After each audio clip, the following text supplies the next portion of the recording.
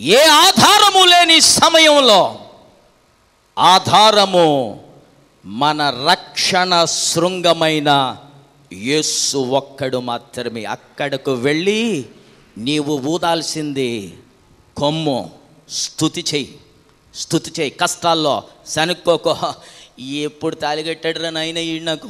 ఏ ముహూర్తాన్ని తాలిగట్టాడో అప్పటి నుంచి నా లైఫ్ ఇలాగైపోయింది. ఈ చాప్టర్ ఎప్పుడు క్లోజ్ అవుతుందో ఎంతకాలం ఈ భయంకరమైన శ్రమలో ఈ కష్టాలో ఈ శోధనలో ఈ ఇబ్బందులు వీడితో పోరు వీడి పిల్లలతో పోరు వీడి తల్లితో పోరు కుటుంబంతో పోరు అని ఏడవడం సనగడం మానేసి నువ్వు చేయాల్సింది ఏంటి తెలుసా? అమావాస్య వంటి పరిస్థితుల్లో యహోషాపాతు పరిగెట్టినట్టు ఎక్కడికి పరిగెట్టాలి? దేవుని సన్నిధికి పరిగెట్టు. దేవుని మందిరానికి పరిగెట్టు ఆర్డర్ గారే మా ఇంటికి రావాలండి ఆయన వచ్చి తల మీద చెయ్యేసి ప్రార్థన చేయండి నేను చెప్తున్నాను సంగతులు పాత పద్ధతులు మానేసేయండి. బాగాలేదా పరిగెత్తుకొచ్చేయండి.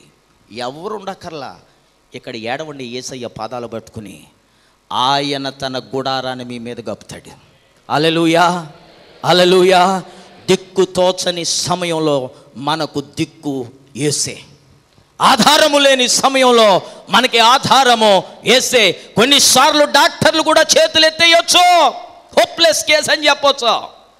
కానీ మనకున్న ఒకే ఒక హోప్ ఈ లోకంలో యేసు మాత్రమే. గట్టిగా తప్పలు కూడా దేవునికి స్తోత్రం చెల్లించండి. ఆధారం నీవేనయ్యా. నా ఆధారం నీవేనయ్యా. కాలము మారినా కష్టాలే తీరినా కాలము మారినా కష్టాలే తీరినా కారణం నీవేనయ్యా.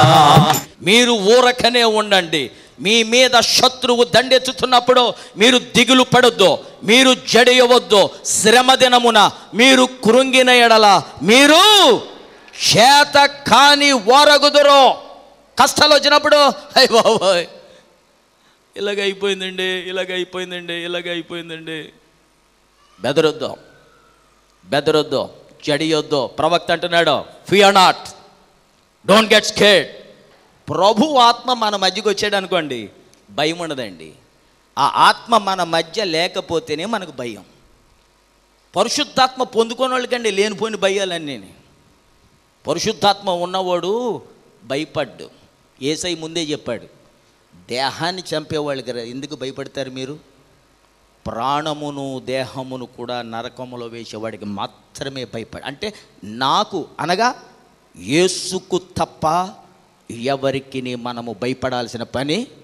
అలెలుయ కొమ్ము ఊదాలి కొమ్ము ఊదాలి. అమావాస్య నాడు పున్నమి నాడు ఏ రోజైనా చేతిలో డబ్బులు ఉన్నప్పుడే కాదు అకౌంట్ నిండా డబ్బులు ఉన్నప్పుడే కాదు మొత్తం ఖాళీ అయినప్పుడు అలెలుయ నీ బిడ్డలకు నువ్వు నేర్పాల్సింది.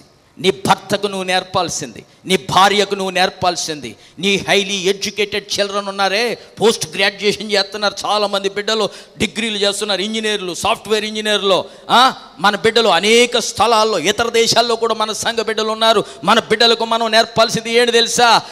అప్పవాది దండెత్తినప్పుడు జాతకాలు చెప్పించుకునే వాడి దగ్గరికి నేను తాళ్ళు కట్టే వాళ్ళ దగ్గరికి కాదు. మంత్రాలు వేసే వాళ్ళ దగ్గరికి కాదు. శకునాలు చూసేవాళ్ళ దగ్గరికి కాదు. వాస్తు చూసేవాళ్ళ దగ్గరికి కాదు. ఏసయ్య సన్నిధికి వెళ్ళి అక్కడ మనస్సు నిలుపుటకు నీవు దృఢ నిశ్చయత చేసుకోవాలి. సమర్పించుకోవాలి. ప్రతిష్ఠించుకోవాలి.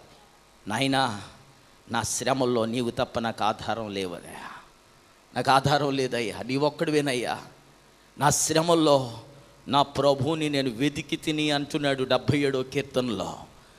దావీదేమో నీ ఆలయంలోనికి పరిగెత్తాడయ్యా వరద ప్రవాహం వలె భక్తిహీనులు ఆయన మీదకి దండెచ్చినప్పుడు నాకు ఆధారం ఏదయ్యా?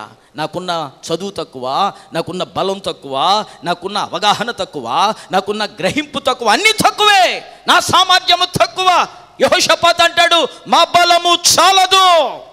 మా బలము చాలదు. ఈనాడు క్రైస్తవుల కుటుంబాల్లో ఎందుకు అపజేయాలంటే మనకు ఓవర్ కాన్ఫిడెన్స్ ఎక్కువ ఆవేశం ఎక్కువ అనుభవం తక్కువ. Over confidence. నేను చేసేసుకుంటానులేండి. నా సమస్య నేను పరిష్కరించుకుంటాను. అబే doubt worry I can take care I can take care అంట. ఓవర్ కాన్ఫిడెన్స్ వల్లే నువ్వు బోల్తాలు కొడుతున్నావు. ఓవర్ కాన్ఫిడెన్స్ వల్లే నీకు ఇంకా పెళ్ళి కాలా. ఓవర్ కాన్ఫిడెన్స్ వల్లే నీకు ఇంకా ఉద్యోగం రాలా. ఓవర్ కాన్ఫిడెన్స్ వల్లే నీకు ఇంకా బలహీనతలు పోలా. ఓవర్ కాన్ఫిడెన్స్ వల్లే నీ కుటుంబంలో ఇంకా సమాధానం రాలా. నీ కుటుంబంలో సమాధానం లేకుండా నువ్వు ప్రయాణం చేయొద్దు. ఎందుకంటే రెట్టింపు ఆశీర్వాదం నీ కుటుంబంలో ప్రవహింప చేయాలి దేవుడు చేయాలి అని అంటే నీవు సమాధానముతో మాత్రమే ఎదుర్కొనాలి. అప్పుడే ఆయన ఆశీర్వాదం నీ ఇంటిలో నీ వ్యాపారంలో నీ ఉద్యోగంలో నీ గృహములో నీ సంసారంలో ఆయన ప్రవహింపజేస్తాడు. నమ్మిన బిడ్డలో దేవునికి స్తోత్రం చెల్లించండి.